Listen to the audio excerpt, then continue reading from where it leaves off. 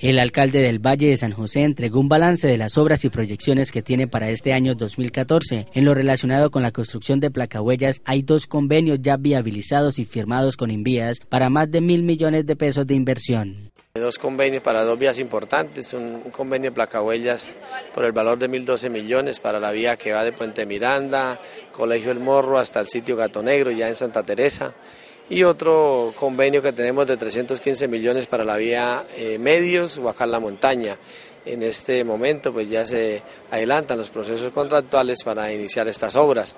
Eh, adicional a ello, de Placahuellas por parte de la Gobernación de Santander, actualmente ya se está ejecutando un proyecto muy importante para eh, construcción de placahuellas en, en, tres sitios diferentes, como es en, en la vereda Cerro de Mona, el sector El Canelo, como es en la vereda San Isidro y en la vereda Vega de Plaza. Son, son tres tramos de placahuellas.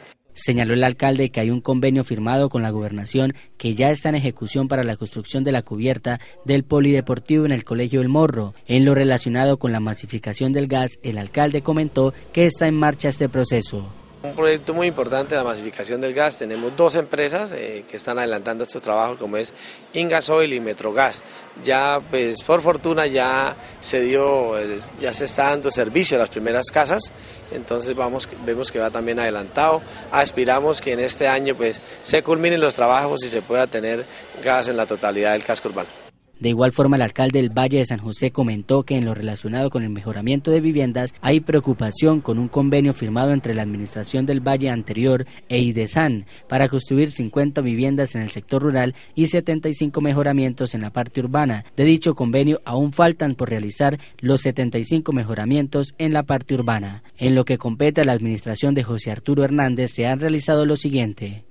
Ya de mi administración, el año pasado hicimos 22 mejoramientos, 19 en la parte rural y 3 en la parte urbana y ahorita iniciamos con la construcción de 80 cocinas.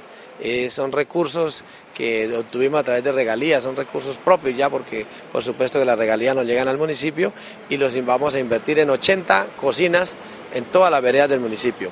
También adicional a ello hay 36 mejoramientos de, que van a ser cofinanciados con recursos de la gobernación y la alcaldía, que eh, eh, esperamos que a partir del mes de abril y mayo pues se inicien también con esos trabajos. Lo de las cocinas ya se inician, a partir de este momento se están llevando materiales para iniciar este proyecto tan importante.